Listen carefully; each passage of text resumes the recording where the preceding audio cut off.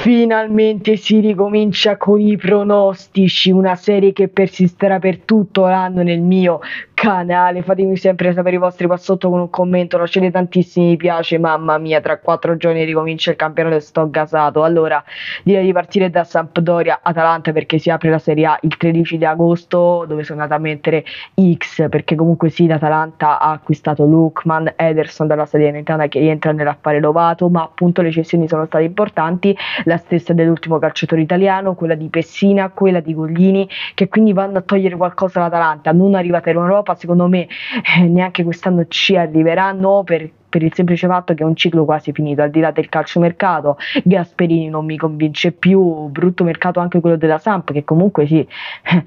perdono Sensi, Ekdal, Bonazzoli, Yoshida, giocatori importanti, è vero sono entrati De Paoli, Levarb, però poca roba, vedremo se si salveranno, però ho dei dubbi anche qui, anche se secondo me lo faranno tranquillamente. Milan devo dire uno under due e mezzo, ci saranno pochi gol, un Udinese che lo scorso anno ne ha fatti tantissimi e ne ha subiti altrettanti, quest'anno ci sarà un pochino pochino più eh, di equilibrio, il Milan che comunque vincerà, i campioni d'Italia vinceranno, quindi meno di tre gol, questo è il mio pronostico, con ovviamente gli acquisti di Origi e eh, CDK, Charles de Cateler, eh, il Milan promette bene, poi c'è Adli, eh, sono rimasti i tasselli più importanti, Teo Hernandez, Magnan in primis, Tonali, Tomori, quindi è un Milan ben costruito che secondo secondo me non si ripaterà per lo scudetto, ma comunque una bella squadra. L'Udinese rimane comunque insidiosa, ma le cessioni di Molina e Pablo Mari in fase difensiva sono veramente brutali. Monza Torino X, parità secca tra queste due squadre. Monza mercato veramente top, non arriveranno in Europa come molti dicono, ma comunque hanno fatto un grandissimo calciomercato in entrata. Fin da subito Galliani e Berlusconi si erano fatti un'idea ben precisa, con Sensi, con tantissimi giocatori e, di qualità, secondo me Monza farà veramente un grandissimo campionato anche diciamo però a metà classifica, eh, non di più, poi hanno preso Caprari, Marlon, giocatori comunque importanti, lo stesso Ranocchia comunque d'esperienza e comunque non si andrà oltre il pari, il Torino che abbiamo visto, le faccende Juric con la dirigenza, un attimo un clima un po' caldo, però comunque non è che il Toro rischia la B, anzi comunque eh, hanno una bella squadra, è vero che le assenze comunque di Belotti e Bremer saranno veramente pesanti perché uno era un muro difensivo will pazzesco, l'altro comunque leadership, bandiera ormai da anni, sono perdite importanti, ma comunque è un toro che si salverà tranquillamente. Radovic promette veramente bene, in amichevole ha dimostrato tanto, vedremo cosa succederà. Lecce Inter, due secco, non ho nulla da dire, lì Lecce secondo me è una squadra che non è fatta per la Serie A, una trasferta difficile, ma l'Inter secondo me in scioltezza riuscirà a vincere questa partita perché hanno una grandissima squadra e secondo me vinceranno appunto questo scudetto, anche se le insidie sono dietro l'angolo, perché perché la prima giornata di campionato ricordiamoci sempre che ogni partita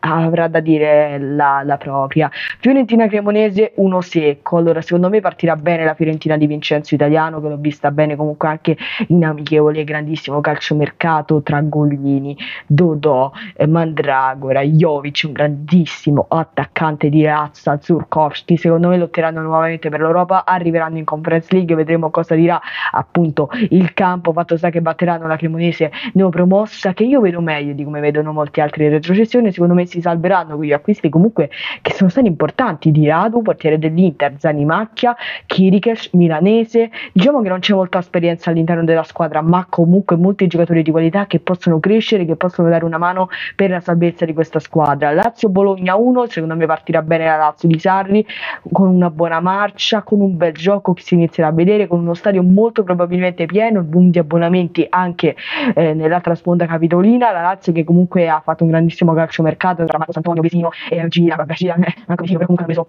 eh, lo stesso Marco Antonio, Romagnoli, Casali, gente che comunque va a migliorare la fase difensiva, manca ancora un terzino sinistro, un vice mobile, la Lazio si è mossa veramente bene in questo calciomercato e secondo me quest'anno attenzione perché possono arrivare in Champions, ma secondo me non ce la faranno per il rotto della cuffia, fatto sta che sfidano nuovamente Mihajlovic, amore eterno tra lui appunto la Lazio, la tifoseria e quindi vedremo cosa succederà perché il Bologna sarà una squadra veramente molto insidiosa, comunque da battere. Acquisti di Cambiaso che comunque viene a Juventus in prestito per quest'anno, di Giannis, vedremo cosa succederà. E poi Spezia Empoli X, io vedo male entrambi, potrebbero scendere tutte e due in Serie B. Empoli che deve cambiare assolutamente marcia se vuole rimanere in questo campionato perché se continuano come fatto lo scorso anno nella seconda parte di campionato andranno veramente male, malissimo, una brutta striscia che non devono assolutamente eh, continuare. Lo Spezia non avere una squadra molto forte, diciamo che eh, l'acquisti comunque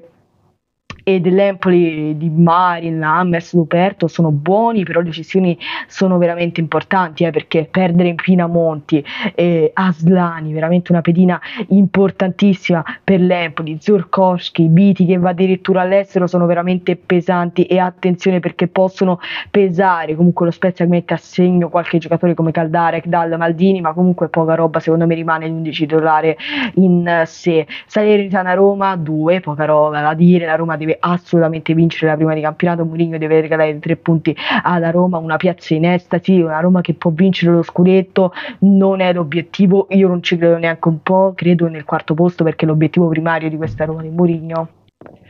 che dovrà assolutamente vincere a Salerno perché la prima giornata di campionato non si possono fare passi falsi fin dall'inizio di Bala, Pellegrini, Abram, Matic, Zagnolo, Wijnaldum, Smalling, Rui Patrizio, tutte pedine fondamentali per la Champions League della Roma. Comunque hanno fatto delle cose importanti eh, come per esempio Boteim, come Lovato che viene appunto eh, dall'Atalanta rientra nello scambio con Ederson, insomma comunque si sono mossi abbastanza eh, bene le ultime due partite eh, della prima giornata di Serie A, Verona-Napoli. Allora, eh, qui mi potete criticare i tifosi napoletani, magari mi, mi date del, quello che non capisce di calcio, Napoli lo date per morto, no, io non lo do assolutamente per morto, Napoli secondo me arriverà comunque in Europa League, ma io dico Verona-Napoli 1x, il Napoli non andrà oltre il pareggio, nonostante il Verona si sia debolita un sacco, non sono ancora arrivate tutte le cessioni definitive, ma molto probabilmente partiranno tutti big, Barà, Barak,